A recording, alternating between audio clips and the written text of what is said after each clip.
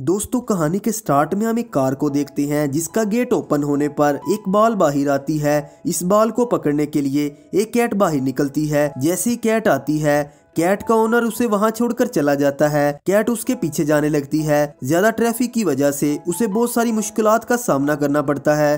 तभी वहाँ पर उसे एक पेट डॉग मिलता है, जो कैट को बताता है, जब कोई भी ओनर अपने पेट से बोर होना शुरू हो जाए तो वो हमें इसी तरह सड़क पर छोड़ जाते हैं। ये सुनकर वो कैट बहुत ज़्यादा उदास हो जाती है।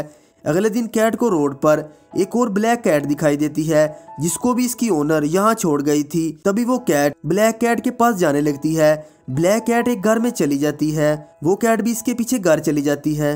अंदर जाने के बाद कैट के बजाय उसे ब्लैक डॉग मिलता है, जो इसके पीछे लग जाता है। कैट अपनी जान बचाने के लिए खौफनाक घर में चली जाती है। वो डॉग इस घर में नहीं जाता। कैट इस घर में जाकर अंदर जाने का रास्ता तलाश करती है। तब वो कैट देखती है। अंदर जाने के सारे रास्ते तो बंद हैं। तभी वहाँ पर दो कबूतर आते हैं, जो ऊपर वाली खिड़की से घर में दाखिल हो जाते हैं। कैट भी वही रास्ते से घर में चली जाती है। कैट घर में अंधेरा देखकर बहुत ज़्यादा डर जाती है। ये घर एक जादूगर का था। इस घर में काफ़ी ज़्यादा जादुई चीज़ें पड़ी थी, जो उड़ने लगती हैं। कैट ये सब देखकर डर जाती है और चीज़ों के अंदर फंस जाती है। वहाँ पर कैट को एक माउस मिलती है, जिसका नाम मैगी था। मैगी कैट को देखकर भाग जाती है। मैगी ये सारी बातें अपने फ्रेंड रैबिट जैक को आकर बताती है कि हमारे घर में एक कैट आ गई है। रैबिट उस कैट को बाहर भगाने की कोशिश करता है। अगर हमारे ओनर को गलती से कैट का पता चल गया, वो कैट को भी यहाँ पर हमेशा के लिए रख लेगा। इसकी वजह से मैगी और जैक का प्यार कम हो जाएगा। कैट इससे डर कर बाहर चली जाती है। रात काफ़ी हो चुकी थी और बारिश भी तेज़ हो गई थी। बारिश से बचने के लिए कैट एक जगह पर छुप जाती है। जिस जगह पर वो छुपी थी, वो एक रोशनदान था। जैसे ही रोशनदान खुलता है, वो घर में चली जाती है। तब वो जादूगर को देखती है, जो अपनी बनाई हुई चीज़ों के साथ खेल रहा था। इनके साथ खेलते हुए जादूगर को महसूस होता है, घर में कोई आने वाला है। इस वजह से वो अपनी सारी चीज़ों को छुपा देता है और यहाँ पर जादूगर का भतीजा आता है, जिसका नाम डैनियल है। वो बहुत ज़्यादा लालची है। वो जादूगर से कहता है, आप ये घर सेल कर दें। लेकिन जादूगर की ख्वाहिश थी, हम इस घर में ही रहें। उसी वक्त डैनियल को एलर्जी होना शुरू हो जाती है। दरअसल डैनियल को कैट से एलर्जी थी, इसलिए डैनियल वहाँ से चला जाता है। वो जादूगर फिर से अपनी जादुई चीज़ों को बुलाकर बातें करना शुरू करता है। और फिर वहाँ पर ही सो जाता है। मैगी और जैक को भी मालूम हो जाता है। कैट दोबारा इस घर में आ गई है।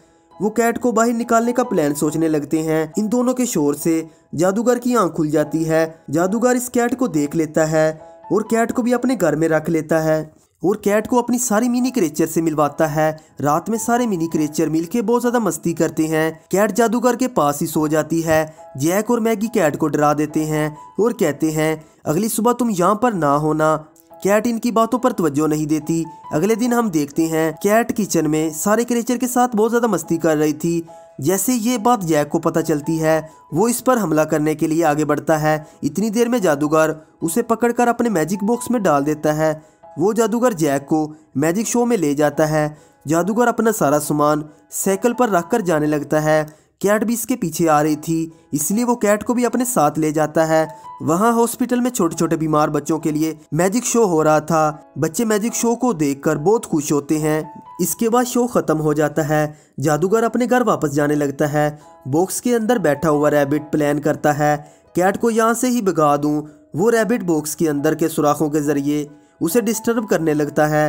कैट के बहुत ज़्यादा हिलने की वजह से जादूगर की साइकिल का बैलेंस खराब हो जाता है।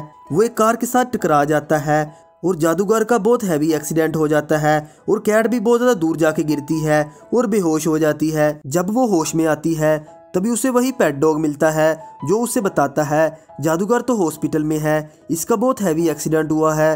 वो कैट इस सब की जिम्मेदार खुद को कहती है दूसरी तरफ़ जादूगर को देखते हैं, जिसका सारा जिसम टूट चुका है।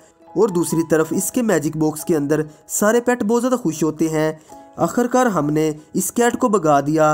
हॉस्पिटल में जादूगर का भतीजा भी मिलने आता है। वो अब भी वही बातें करता है। अब बड़ा सा घर बेच दें। जादूगर इस बार भी इनकार करता है। जादूगर कुछ वक्त पहले इस हॉस्पिटल में जादू दिखाता है, जिन बच्चों ने वो शो देखा था। वो जादूगर से मिलने के लिए आते हैं और वहाँ पर वो सब मैजिक बॉक्स को खोल देते हैं। इनमें से कबूतर उड़ जाते हैं और वापस घर में चले जाते हैं। इनका शोर सुनकर वहाँ पर नर्स भी आ जाती है। वो नर्स बच्चों को डांट कर वापस कमरे में भेज देती है। दूसरी तरफ़ हम कैट को देखते हैं। कैट वापस से जादूगर के घर आ जाती है। वहाँ पर वो कबूतर भी आ जाते हैं, जो सारे पेट्स को बताते हैं। जादूगर का बहुत हैवी एक्सीडेंट हुआ है।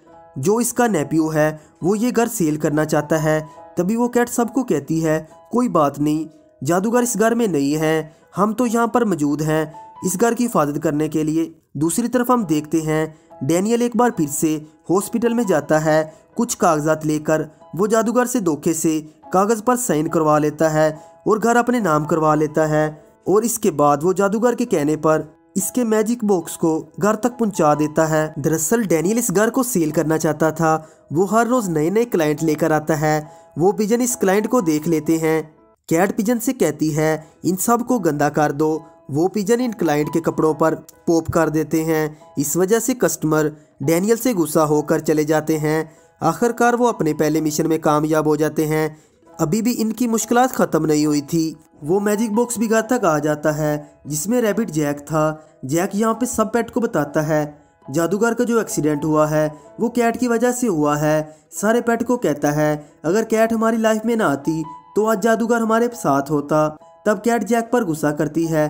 तुम्हें इस बात का पता भी है, डैनियल मेरी वजह से यहाँ नहीं आता, उसे मुझसे एलर्जी है। अगर ऐसा ना होता वो ये घर कब का सेल कर चुका होता? तब जैक को उसकी बात मानना पड़ती है और वो कैट को एक पिंजरे में बाँध रखता है। अगले दिन डैनियल अपने साथ नए क्लाइंट लाता है। इस दफ़ा वो अपनी पूरी तैयारी करके आया था। पिजन इनके ऊपर पोप करेंगे तो वो इनके लिए अम्ब्रेला खोल देगा। इसके बाद डैनियल कस्टमर को घर के अंदर भेज देता है। खुद वो अंदर नहीं जाता, क्योंकि उसे कैट से एलर्जी थी। डैनियल को पता चल जाता है, कहीं ना कहीं कैट यहाँ पर मौजूद है। वो कैट को ढूँढने लगता है। क्लाइंट के साथ वही पेट डॉग था, जो कैट से पहले भी मिल चुका है। वो उसे पिंजरे में बंद देखकर उसे आज़ाद कर देता है। ये सब कुछ डैनियल खिड़की से देख रहा था दूसरी तरफ़ क्लाइंट को। वो चूहा डरा देता है। वो क्लाइंट बहुत बुरे तरीके से सीढ़ियों से गिर जाती है। इस तरह ये क्लाइंट भी यहाँ से भाग जाती है। दूसरी तरफ़ हम देखते हैं कैट जादूगर से मिलने के लिए हॉस्पिटल में जाती है। उसे ऐसा लगता है कहीं जादूगर मुझसे गुस्सा हो गए, लेकिन जादूगर उसे कुछ भी नहीं कहता, बल्कि इससे प्यार करता है। बच्चों जादूगर की आवाज़ सुनकर नर्स भी वहाँ आ जाती है, लेकिन कैट फ़ौरन से खिड़की के बाहर चली जाती है। दूसरी तरफ़ हम जादूगर के घर में देखते हैं। डैनियल फिर से एक नए क्लाइंट को लेकर आता है। चूहा इस क्लाइंट को भी डराने लगता है। इस क्लाइंट को चूहे बहुत ज़्यादा पसंद हैं। वो चूहे को पकड़ लेता है। कैट भी घर वापस आ जाती है, इसलिए डैनियल घर में नहीं आ पाता।